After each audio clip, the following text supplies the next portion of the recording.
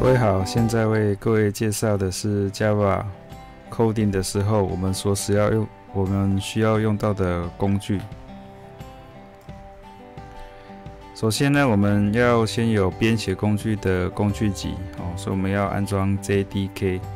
那我们所展示的环境呢，是在 Windows 十上面。好，那我们来看一下 JDK 的安装。首先呢，我们上网去搜寻。这个 Open JDK 十二，然后呢，这边有连接，各位可以按照这个连接去下载。好，然后呢，再来是下载完之后呢，就安装 JDK。好，然后呢，接下来再去寻找这个环境设定，好，环境变数的设定，在环境变数里面加入 Java Home。Environment 的这个变数，那除此之外呢，要找到 pace 这个路这个变数，然后把 JDK 的路径设定上去，然后完成之后呢，哦，可以用这个命令链模式来测试一下我们刚刚安装 JDK 哦是否有完成。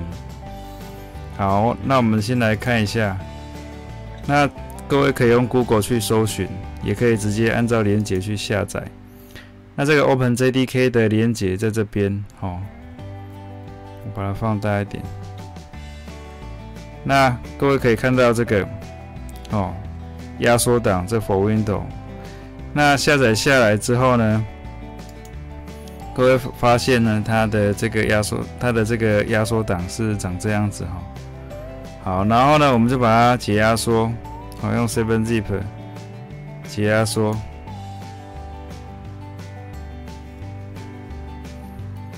解压缩完呢，它是一个这个目录。那我们点目录进去，有一个 JDK 一二点零二。好，然后呢，我们去寻找西槽哦西槽里面的 Program File 哦，看有没有 JDK。Java 的路径，好，那如果没有的话，我们直接把它复制，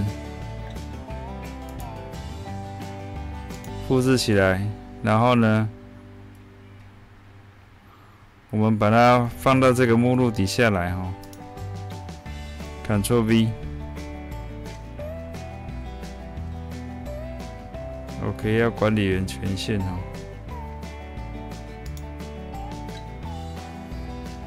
好，那它就开始复制了哈。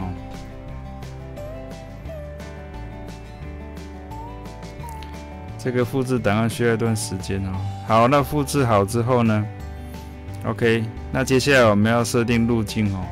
各位可以点进去之后，这边有个 bin 的目录。好，那我们把它点开之后，我们选择这个。命令列，好，就是上面的路径列的地方，选它之后按复制。好，那我们接下来就要去改改这个环境变数，哈，按这个视窗符号点开之后，这里有一个设定，哦，点设定，点开设定之后呢，好，我们有系统的部分。好，那点了系统之后，把它往下拉，拉到最底下，这边有个关于。那点了关于之后呢，哦，各位可以看到右边这边，我们把它往下拉。哦，它这边有一些相关的设定，包含资源。那这边有一个相关设定，里面有系统资讯。哦，那我们就点系统资讯。进来之后，这边可以看到一个进阶系统设定。好，进阶系统设定，然后点下去，哦，那各位就可以看到这边有一个环境变数。点下去之后呢，好，那我们要先找到 pace，好，然后按编辑，OK，那我们就是加入一个，新增一个，哦，把刚刚的路径贴上去，OK，把路径贴上去，然后按确定。好，那这个 Java Home 的部分呢？好，本来没有的话，我们就去新增一个。好，那我之前已经新增过了哈，各位可以看一下。那这个 Java Home 的部分呢，路径，我们回到刚刚的这个，它的路径是在 bin 的上一层，好，所以只有到这边而已。那我们就把它复制起来，好，然后呢，这边我们就把它贴上，然后按确定，确定。好，然后呢，再按确定，这样整个都设定进去之后，我们按视窗符号，然后直接打 cmd，就会出现这个黑框的命令提示资源。出来之后呢，我们怎么测试呢？只要打 java 空格减 ver s i o n 哦 version，然后呢 enter。它就会告诉我们有 Open JDK 版本是一二点零一，哦，一二点零点一，那这样子代表它是有设定完成了，那我们就可以把这个命令提命令列提示资源把它关掉。好，那我们再回到投影片的部分。好，那 JDK 设定完毕之后，接下来我们要安装我们编写程式使用的软体，叫做 Visual Studio Code。好，然后它其实在微软或者是 Mac、Linux 都可以使用。好，那这个版本呢？好，各位上网已经安装 JDK 之后，接下来就搜寻 Visual Studio Code，然后下载之后呢，好，然后把它安装起来。好，那我们来看一下，各位在网络上哦，在 Google 打 Visual Studio Code，然后呢就可以看到这边有个 Download Visual Studio Code 的地方，点下去之后会连到这个页面来，哦，连到这个页面来。好，那这边有很多版本，那因为我们是要在微软的 Windows 十上面执行，所以我们在这边找。好，那这边各位可以看到有 user 使用的、系统使用的，然后还有一个是压缩的。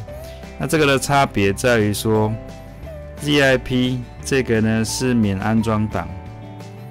好，那你如果说你只有使用者的权限而没有超级使用者的权限，那你要选第一个。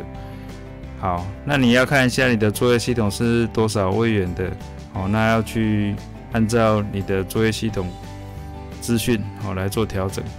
好，那我以这个压缩档的方式下载。好，那我已经事先下载了。好，我们来看一下。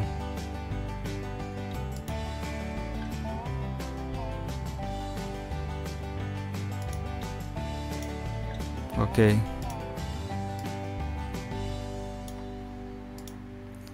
那我刚刚下载的是这个档案。好。那可以安装档，那我们 double click 点两下之后呢，它就会开始执行安装。好，然后呢，安装它其实不会花很久时间。Yes 之后，它就开始安装。好，我接受合约，再来下一步，他会问你要安装在哪里，继续下一步。好，那要不要在这个？建立桌面捷径后，就看使用者决定。好，然后呢，直接安装。好，那这样子安装完之后呢，我就可以编写我们的程式。但是呢，安装完之后，它还要设定一下哈，这个 Java 用得到的这个套件。好，这就是。Visual Studio run 起来的这个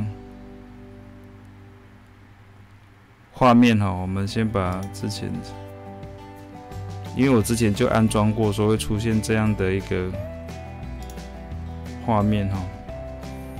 好，那接下来我们看一下哈，我们点这个有个像方块的地方，它就是扩增套件的地方。点开之后，我们在上方打入 Java，好，它就会找出 Java 相关的套件。OK，好，那在 Java 的套件里面，像这个 Maven for Java，我们要安装。然后呢，Language Support for for Java 也要安装。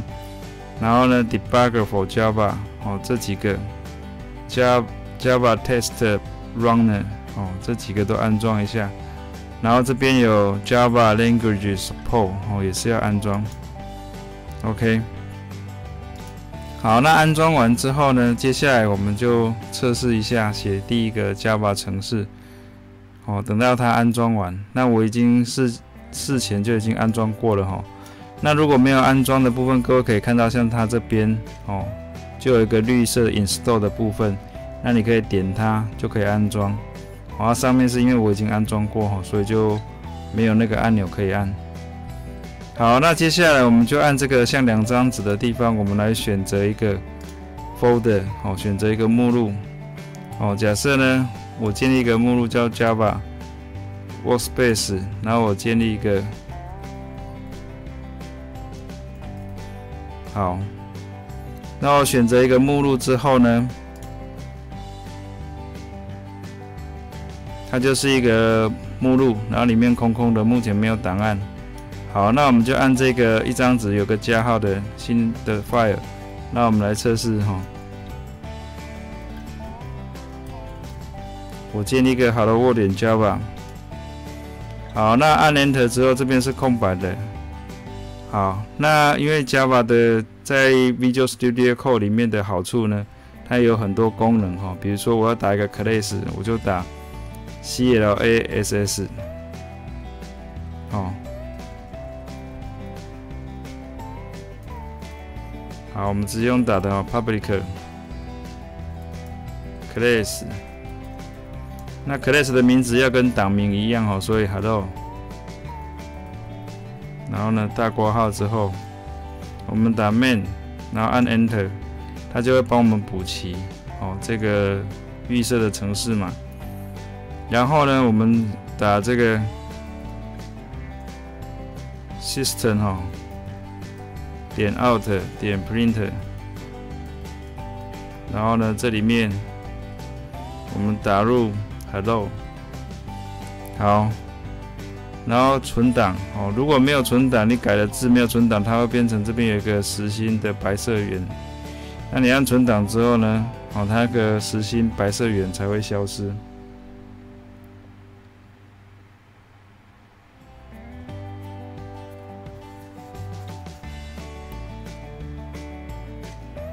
好，那我们接下来看一下怎么样去执行它哈。那我们这边 terminal，然后另一个 terminal，在这边呢，我们打上 Java，C，C 是编译的意思。好，然后呢，Hello。哦，如果懒得打字的话，我们可以打几个字之后按键盘的 Tab 键，它就可以补齐。哦，然后按 Enter。这样它就编译完了，我们可以打 dir 看它多了一个档案，哦，hello，所以我们要执行它就打 java java 空格。hello，好，后面档名都不用打，执行就会显示这样的结果。所以到这边如果完成的话，代表你已经可以透过 Visual Studio Code 来写你的 Java 程式。好，那我们的介绍到这边，提供给各位参考。